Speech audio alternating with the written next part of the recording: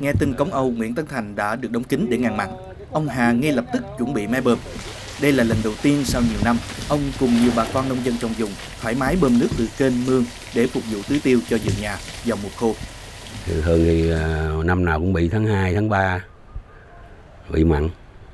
Bà con phải phải không dám à, tưới nước dưới sông lên. Giờ dự trữ trong mương thì không đủ.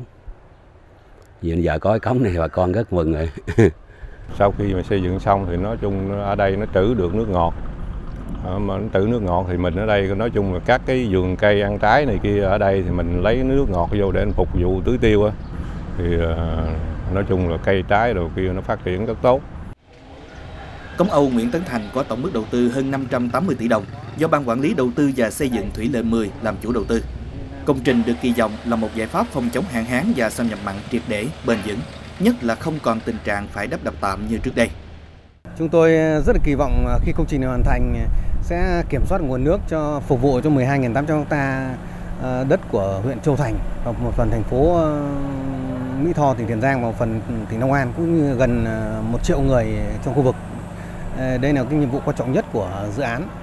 Thì, hy vọng là từ thời điểm này tất cả các ừ, bà con nhân dân trong khu vực hưởng lợi sẽ không phải lo lắng nữa về mỗi mùa mặn đến.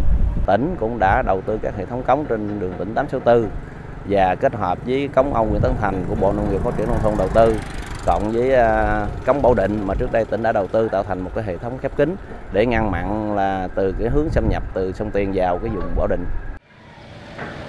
Cống Âu Nguyễn Tấn Thành được khởi công vào tháng 11 năm 2022 và dự kiến hoàn thành sau 24 tháng. Tuy nhiên đến nay, công trình đang vượt tiến độ và được kỳ vọng sẽ hoàn thành trong tháng 7 năm nay.